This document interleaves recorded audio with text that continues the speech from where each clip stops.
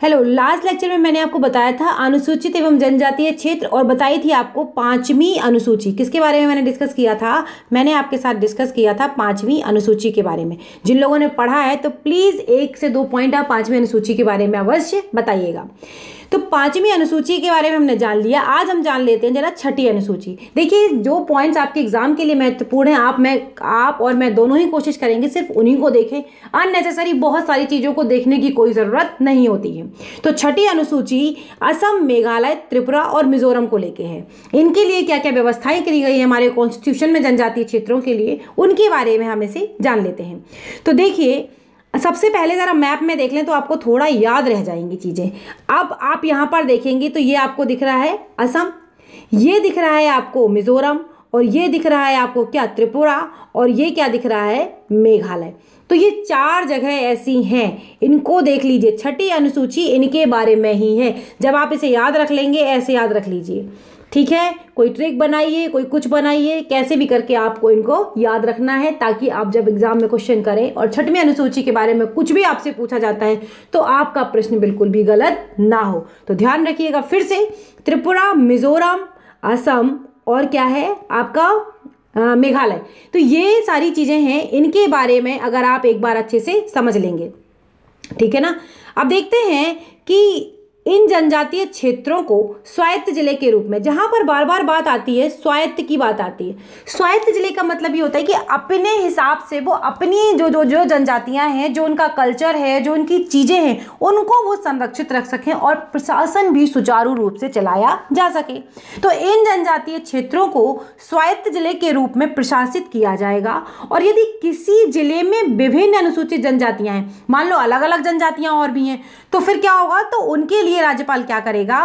राज्यपाल ऐसे क्षेत्रों को स्वायत्त क्षेत्र के रूप में भी विभाजित कर सकते हैं। मान लो यहाँ पर कुछ अलग जनजातियाँ हैं, कुछ अलग जनजातियाँ हैं, कुछ अलग जनजातियाँ लेकिन ये क्षेत्र पूरा एक है तो इनको भी ये विभाजित कर सकते हैं। कौन कर सकता है इसको विभाजित? इसको राज्यपाल, इसको विभाजित कर सकते हैं।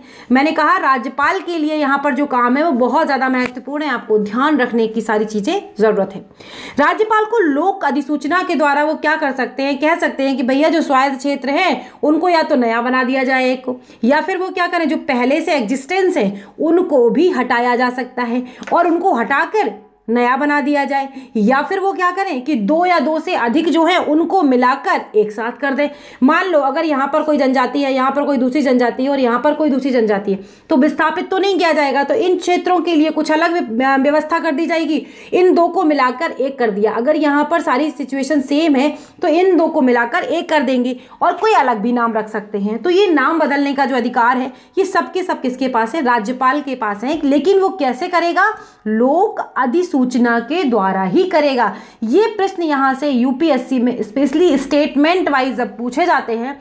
तो 90 परसेंट लोग इसमें गच्चा खा जाते हैं और क्वेश्चन गलत होने की संभावना हो जाती है। अगर आपने ढंग से नहीं पढ़ा है तो। इवन यूपी पीसीएस में भी कई बार पूछे गए हैं प्रश्न, आप पेपर उठाकर देखिए। लेकिन यूपी पीसीएस में बहुत डिटेल में कम पूछे जाते हैं। आपसे सीधा ही पूछ लेगा कि छठी अनुसूची किससे संबंधित है, या फिर पांचवी अनुसूची किससे संबंधित है, या फिर और चीज़ें भी जो कम वैसी हैं, उनके बारे में पूछ लिया जाएगा। तो आपको कॉन्सेप्ट को अपने को क्लियर रखना है। अब परिषदों का कार्य क्या होता है? ये परिषदें क्या करती हैं? भूमि, वन, नहर, खेती, गाँव का प्रशासन, संपत्ति का उत्तराधिकार, विवाह एवं सामाजिक रीति रिवाज के संबंध में विधि बना सकते हैं। मतलब ये अपने आप को संरक्षित रखने के लिए, अपनी संस्कृति को संरक्षित रखने के लिए सारे काम परिषदें कर सकती हैं। राज्यपाल इनको अनुमति दे देता है कि इनको भू राजस्व के निर्धारण और संग्रहण और कुछ ऐसे निश्चित टैक्स हैं वो लगाने की शक्ति भी प्राप्त होती है मतलब परिषदों को। पूछा जाता है परिषदों के कार्य क्या हैं, छठी अनुसूची के अकॉर्डिंग तो आपको पता होना चाहिए। परिषदों के विवाद निपटाने के लिए राज्यपाल न्यायालय का गठन कर सकते हैं। अगर दो परिषदें हैं, अब आपस में उनकी में कोई मनमुटाव हो गया या कोई मतभेद है, मनमुटाव क्या? मतभेद है। तो उसको कैसे क्लियर करा जाएगा? उसको क्लियर करने के लिए एक न्यायालय का गठन भी राज्यपाल कर सकता है। अब परिषदों की बनाई गई विधि लेकिन तब तक प्रभावी नहीं होगी जब तक कि राज्यपाल उसको अनुमति प्रदान ना कर दे। इसका कॉन्सेप्ट समझिए, देखिए क्या है। अगर परिषदों ने कोई विधि बना ली अपनी मर्ज़ी से, ठीक है ना? और उसको अगर लागू कर दिया गया बिना राज्यपाल की अनुमति के तो क्या हो गया? परिषदें ऊपर हो जाएँगी और राज्यपाल जो कि केंद्र का एजेंट है उसकी स्थिति क्या हो जाएगी? डाउन हो जाएगी, जो कि क्या करेगा? संघवाद को कहीं ना कहीं इफ़ेक्ट करेगा। और संघवाद को अगर इफ़ेक्ट करेगा तो ये हमारे कॉन्स्टिट्यूशन के लिए अच्छा नहीं होगा और सुचारू रूप से संचालन जो प्रशासन का है, वो नहीं चल पाएगा।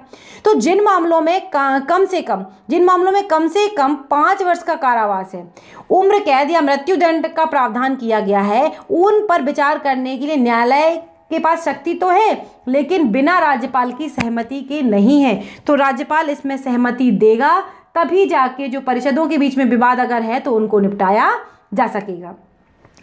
अब है, राज्यपाल के पास यह शक्ति भी है कि ऐसे क्षेत्रों के प्रशासन की जाँच के लिए वह एक आयोग भी बना सकता है। एक आयोग को नियुक्त कर देगा और कहेगा कि जो क्षेत्र हैं, उन क्षेत्रों में सभी तरीके की सुविधाएँ या सभी तरीके की चीज़ें जो है, वो सुचारू रूप से काम कर रही हैं या फिर नहीं? या प्रशासन अच्छे से चल रहा है या फिर नहीं? जैसे कि शिक्षा हो गया, चिकित्सा हो गया, संचार हो गया या जो भी और आवश्यकताएँ हैं, उन सभी को ध्यान में रखते हुए।